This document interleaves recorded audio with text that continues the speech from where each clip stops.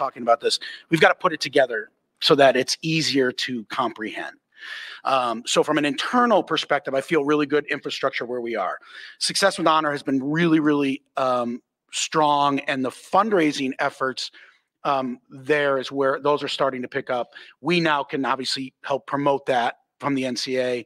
Um, Tony Misitano uh, had a, a, million dollar gift there, and we sent that note out the other day. So I feel like we're really in a good spot. I'm not as I don't lose as much sleep over that anymore. Do we have to get better? Yes. Um, this is here to stay. This is part of the world we're living in. I think whatever, it's really hard for those of us, and I said this when we, we started, to really walk through this NIL space. It, it's it's counter to everything we all grew up with in the industry. And so we're starting to, when you speak about it and you try to educate not only your your students, but your your fans and your base, it's okay to do these things. Now, here's what I would tell you. My my objective is to make sure I protect the 800 plus student athletes. Tax implications. What does it mean when you put your name on stuff? That's where now we're getting to the point. I'm going to give you every opportunity to be successful in NIL. You can run with it. Some don't.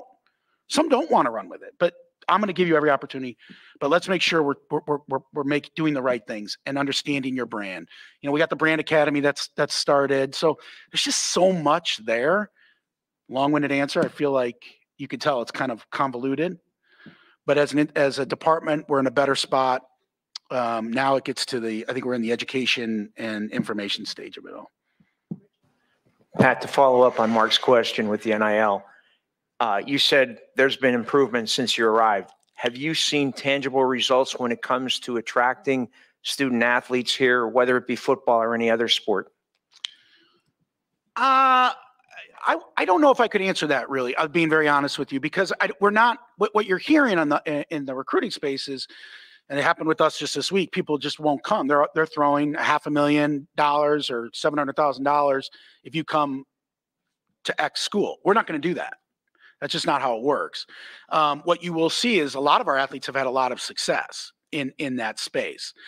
Um, so I don't know. I think it's too early to tell. This is my first recruiting cycle, um, but it is absolutely a part of the recruiting process. I think this is what gives us an advantage.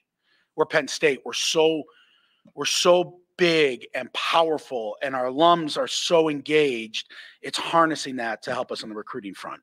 So i, I just don't know yet what what will come of that. I think after this i'm actually curious post signing day and then getting in the spring let, let's see where the dust settles and, and what's the impact.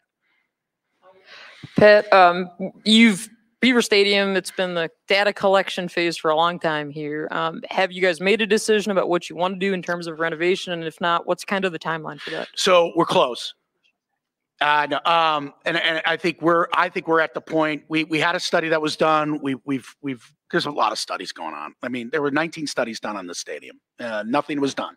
So there in the in in the past eight nine years, there were 19 studies done on Beaver Stadium.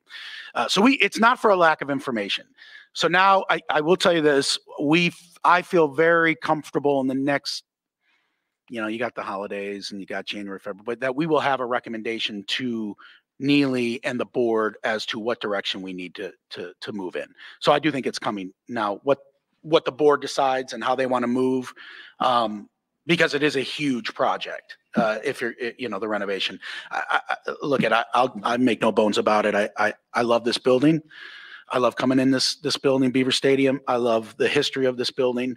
Um, when I walk the parking lots and I talk to people about having generations of of memories in this building, so I am, um, you know, I want to make this building better, and when we have to do that, so we're we're very close. I mean, all the data is there now.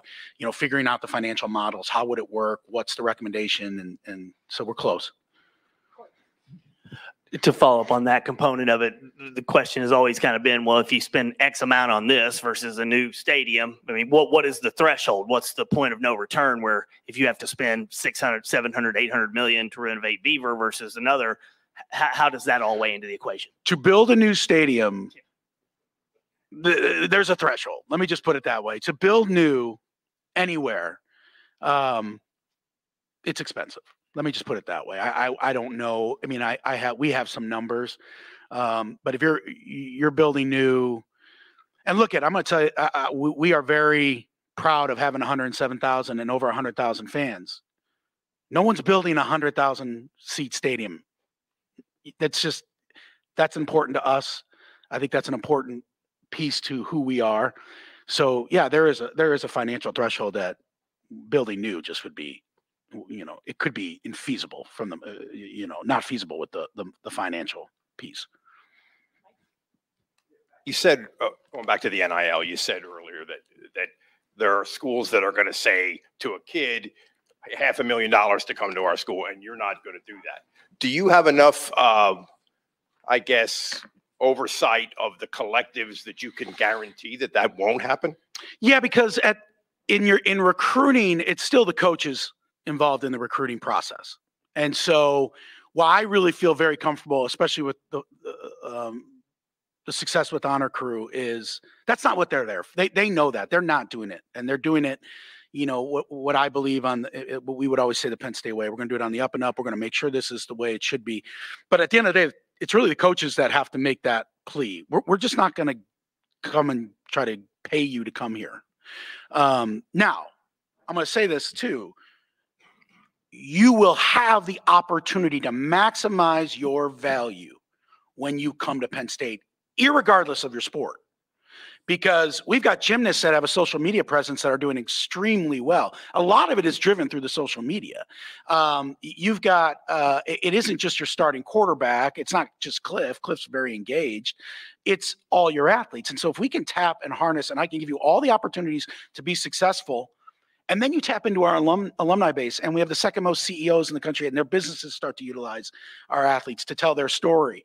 That's where you can be really successful, and so that's really why we're trying to harness, uh, really trying to harness the energy. A lot, a lot is made about the collectives, and they're very helpful, but that's a- that's a portion of the NIL space. Corporate is big, um, you know, utilizing internships and jobs and education, and so we're just scratching the surface. I think you got to find a sustainable model what we have right now is not a sustainable model and and i don't believe that the that the the way that it is now currently situated across the country is sustainable like and and there's a lot of misinformation on what people are being offered um, and i think you're going to find as time goes on wait they told me i was going to get x and now i'm not and so i think that's this new nil world that we're living in we're still trying to find our way through it but but yeah i feel really comfortable about where success with honor is as a collective and, and what's happening. Hey Pat, how's it going? I'm over. Oh, there you go. Sorry. Um, for the longest time, I wanted to do a story about how many season ticket holders there were, and for the longest time, people said that it's not really a piece of information that we want to share. Um, I think people in this room have been curious about, you know, how many studies have been done. That's not always necessarily a piece of information that Penn State historically has wanted to share. You've shared both of those things sort of off the cuff, both between now and a few months ago. Um, what is sort of your balance between Penn State has always handled information this way versus what harm does it do to tell anybody here are some interesting things that contextualize the decisions that we're making? I'm just going to be really honest with y'all. That's really, I don't know any other way to do it. I'm not doing it. I, first off, saying that we have 92,000 football season ticket holders, I don't know anywhere in the world that that's a bad thing. Uh, I think it shows incredible support from our base. Um, okay, uh, 19 studies, it's fact. There are 19 studies done on Beaver Stadium. Uh, there will be always stuff that we won't be able to to um, discuss for a myriad of reasons. It's, it's who I am. I'm gonna be really honest with you. Um, I, I don't see it any other way. Uh, I can't speak to what happened in the past. Can't think. I can't speak to other philosophies of the past. But right, I, I don't. I don't know. Ninety-two thousand season ticket holders is pretty darn impressive, if you ask me. Um, and I think it shows. I think it's bigger than just that. I think it shows how passionate this base is about Penn State football.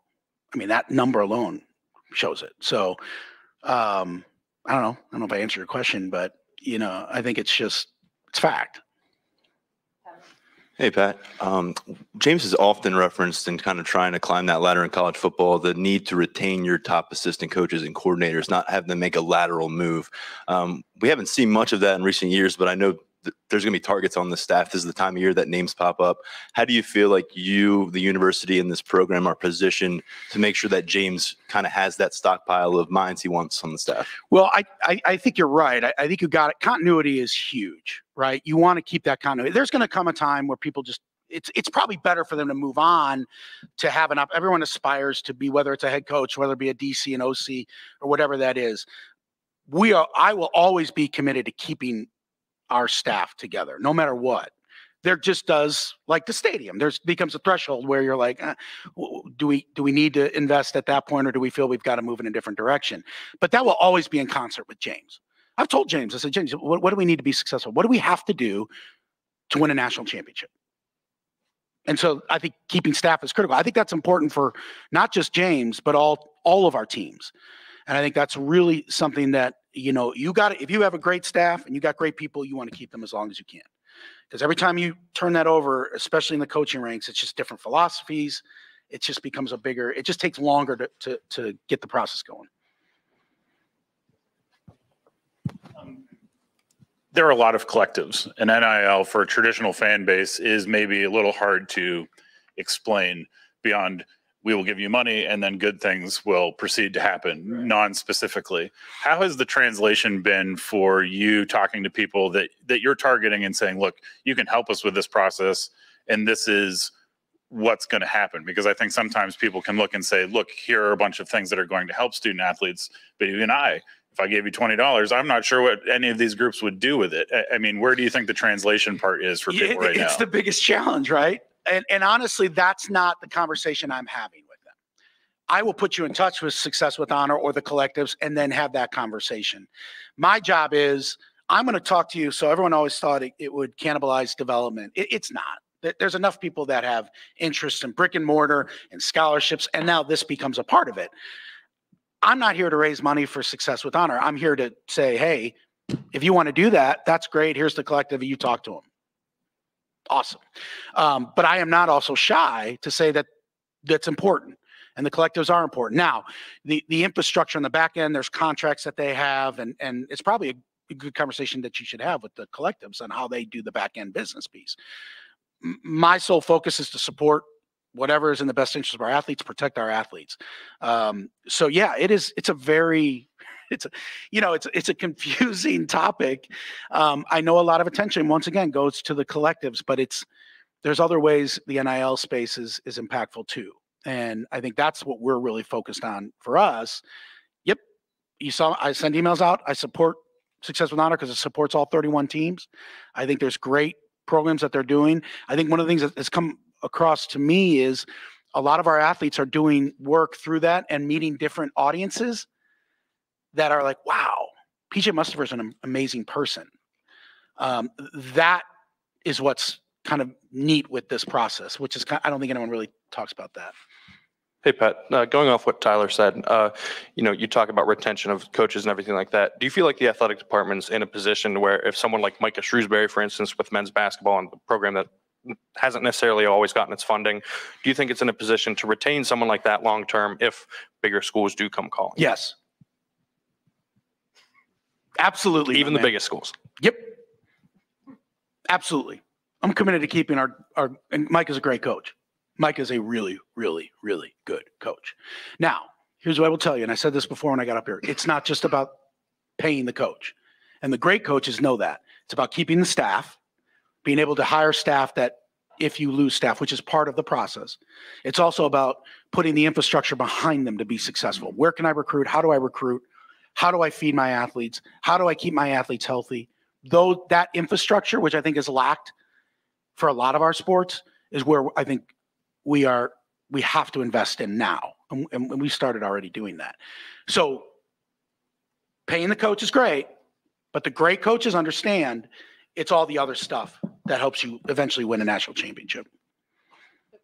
Pat, in terms of facilities, right in front of you, in terms of facilities, uh, you're going to have two wrestling matches at uh, Bryce Jordan Center in the new year. How important is that for not just exposure, but also using Bryce Jordan Center in different ways? And then what do you see as the future of Rec Hall, both for wrestling and the other sports that uh, compete there? Yeah, you know, I, I'm glad. It's amazing. I think we sold one of them out in like two minutes. Um, I, I'm excited to see it. I've been the two at Rec Hall for wrestling, um, and I think there is a balance of that that the BJC environment, for which I haven't seen yet, for wrestling, and then that intimate excitement of wrestling in Rec Hall.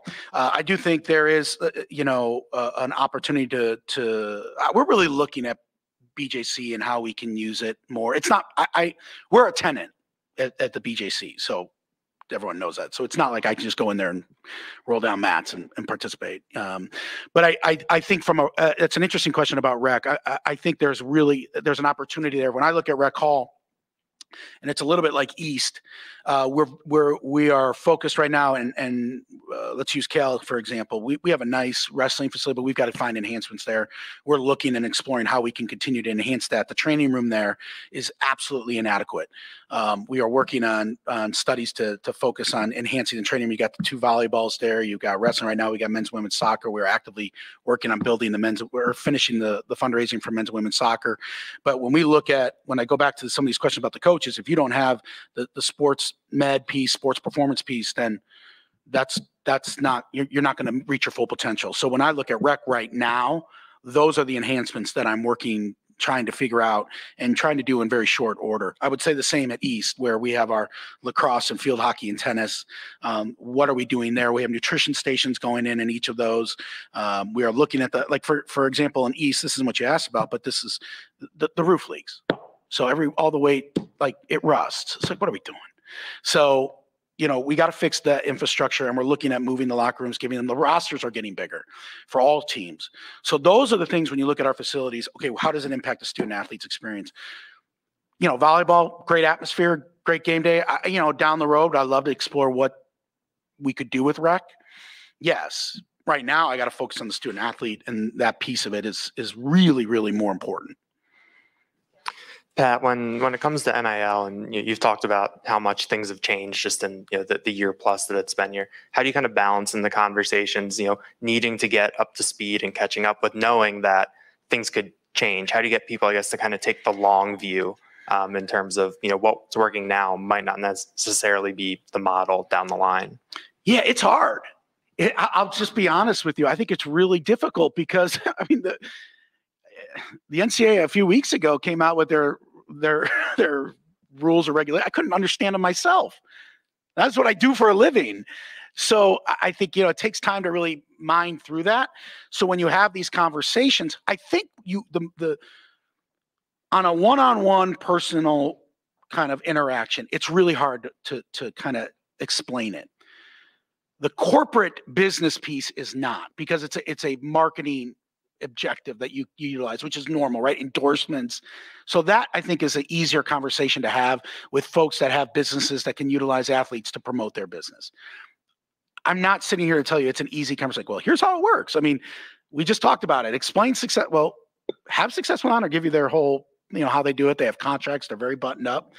Um, so it it is a it is a, a very difficult kind of conversation um, to have in the sense that they're they're always moving the target on us. Um, but we have the ability to continue to to to do this at a high level, and we we've had the most success with with mostly business owners who understand it from that perspective. Pat, we've seen Utah sell out its allotment of Rose Bowl tickets. What is your ticket sales for the Rose Bowl? What kind of response have you seen from your fan base? I don't know if we're. I mean, we're sold out. Uh, we have no tickets left. I think we. Uh, someone had told me the other day it was like three minutes. We had sold out our center. I, I don't. Uh, well, you can call me on that, but I don't know the exact number. It was quick. So we've. There's been a lot of excitement uh, when it when uh, there was word that we there was a potential to go there. Um, look at. I'm a Big Ten kid. Um, I get goosebumps thinking about it now. Uh, I've heard nothing but amazing stories when uh, James and the team went last time. So we've had great, great, great response. We had the Rose Bowl in town. Um, their representatives last week. They're fired up. Um, my, I'm, I'm fully expecting uh, Penn State Nation to take over Pasadena and LA, and we're, we're fired up. We're fired up for that. Let me go back to the the football assistant coach salary pool for a second. Um, it- we've never we don't see assistant coach contracts here, which always leads to a lot of gray area questions from fans. where does football salary pool rank in the Big Ten? Do you know? I mean, I think we had told we were told a couple years ago it was top three. It is. okay. It is. And it's a moving target, right? Um, but it is. It's top three. Yeah. And you mentioned taking care of your student athletes for NIL, but the PIAA earlier this month passing NIL for high school athletes. How did you react to that news? And now that NIL is expanding into high school, what are your thoughts on that? I really didn't even know it happened. Um, I'm so focused on what we're doing here. I, look at. I, I'll say the same thing I said for um, when this all kind of bubbled up with our. I think it's great if an athlete can make money with their their uh, NIL and do it. Awesome. I, I just always go back to make sure that we're we're doing it the right way. There's a lot of a lot of sharks out there. And if we're having troubles now keeping people away, what's a 14 year old or a 15 year old or a 16 year old dealing with? Um, and so um, I think it's great. If that's that's what happens, that's that's awesome. I, I candidly, I, I I I haven't, and that's not no disrespect. I just haven't even. I'm so focused on what we're doing here. I'm trying to figure out ours. Um, but I would say the same thing. If you can do it, amazing, right? That good good for them. I, I would just I'd caution on just how we protect all of the high school student athletes through this process. Uh, Pat, I'm, I'm sure you had an impression, a strong one of James when he took this job and got to know him over the summer, but we saw you traveling to, to road games and really a part of the process. What stood out to you learning about James, spending time with him in season and watching through the wins, through the losses, uh, how he dealt with that? Yeah, you know, it's uh, that's a really good question, I, and I'm glad you asked because being embedded with them, you know, I've known James for a while. I, my first takeaway is, man, he loves, he loves his players, um, and there is a great love between both of them, which for me is really really cool. Like I love my student athletes. I, I, I like, and I haven't had a chance to get to it, but I, I think so. I, I really appreciate that perspective, and everything he does is about helping their cause and what helps them reach their full potential. Um, I, I, think our staff is really talented. I think we have incredible um, young men that play this game for Penn State. You, if you have a chance to, you all do, but I don't think our base gets to really interact with them, top to bottom. That that locker room is is really special, and so it's really been fun to, for me to watch that. Um, you know, James, he's an elite recruiter. I think he is. Um, he's a good man. He's a. I'll, I'll just tell you the story. So we have these meetings. We get together. Obviously, you know, I'm passionate about all our sports, but he gets a call, and and he probably won't like me saying this, but whatever. Um, he gets up. He's like, hey, you know, and it's it's his daughter. He's like, I gotta go. I gotta go. I gotta take care of something. And I texted him that night. I said, you know what? I just appreciate you doing that because my father, I think I said, is no longer with us. But we would call my dad like at any moment's notice throughout the day, and he'd be in a meeting and he'd pick up and he would make make it the most important thing to take care of us. He didn't hesitate one second. That's James Franklin. That's what I love about the guy. And I think his passion, I want to keep him loose. I want to keep him um, I want to make sure that he has every resource available to go win a national championship. And so being with this group, why I'm so happy that they're going to play in the Rose Bowl, why I know we're going to be elite and we're going to win a national championship, we're going to be great, is because I think he does, I believe he does everything the right way with those young men. And that's really what it's about. They'll sniff out fake stuff. They will. Um, but he he he recruits great great kids. He's a great person. His family's great and the staff. You know, and we could talk X's and O's and all that, but to me, it's like that's the stuff that really matters. If you're doing it that way and you care about the, the student athletes, I, w- I, w- I will just say this: uh, uh we're blessed here because our our coaches are really like that. That they they put the student athletes first in everything, and I think that's that's how you can you can win championships that way. Pat, another facilities related question with field hockey as well as Jeffrey Field for soccer. What's the latest on each of those? Any updates on timelines? Uh, field hockey, field hockey's off and running. It's I felt I mean, it's a great thing we're building that facility. Char has this wonderful year, goes to the Final Four, and everyone's sitting in the bleacher, they're standing up behind the fence. Uh, but that's that that's tracking really well. Um, we're we're halfway to our fundraising goal on uh, men's and women's soccer. Jeff, um, we're getting that thing done. That is the number one priority. Uh, so I feel really good about that. We're having conversations there. Uh, so I, I, I feel we got to get that done. Um, what Eric uh, and Jeff, what they do, both programs, they deserve to have the best, as do all of our facilities. And we're working on some other facility projects as well. Pat, you mentioned giving James every, all of the uh, resources he needs to win a national title. Uh, what, what are some of the areas that you think you, st- that still need to be addressed from that perspective? You just built a big uh, weight room, A bunch of things have been done. What still needs to be done to get there? I think uh, we got to continue. To, uh, this sounds probably silly to you, but I think food and nutrition is a real big area. Uh, that's for all of our athletes. We're, I think we're behind on that.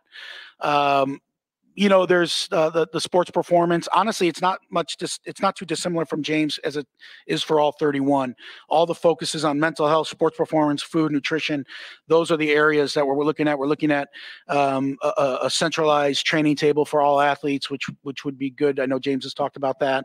Um, and so those are the areas. But things come up that we have to we, we can't we can't just be like ah no no. If you're committed to to going and doing it right and and I know we're talking about football but it's everything. You, you got to go you, you got to be able to go put your money where your mouth is. If you're committed to go win a national championship and I am in everything then we got to be able to do it and we got to find the resources. And one of the biggest things we've had to do in the last five to six months is completely re- rebuild our budget to make sure we're focusing on those, being able to, to be nimble and focus on the initiatives that help our student athletes reach their full potential on the field. And so it's not too dissimilar for, for, for James. I think that's where, um, it- you know, it's not just one-offs, right? It's not, it's like strategically, what do we need to do to get everybody to where they can maximize their potential? Yeah, Pat, uh, wrapping up with Beaver Stadium, going back to it. Um, is there an added sense of urgency now with the, you know, moving up of the expansion of the CFP and the, you know, growing possibility of on-campus stadium sooner than perhaps expected? Um, I think it, yeah, yes, but I think we would have it. I would have that sense of urgency, ir- irregardless of the playoff. I do think, yeah, it will. I mean, make no bones about it. If we were to play a playoff game in three weeks, we'd play a playoff game in here. I don't care what it would take. We'd go flush the toilets and keep the water running for a month before we're going to play a football game in here.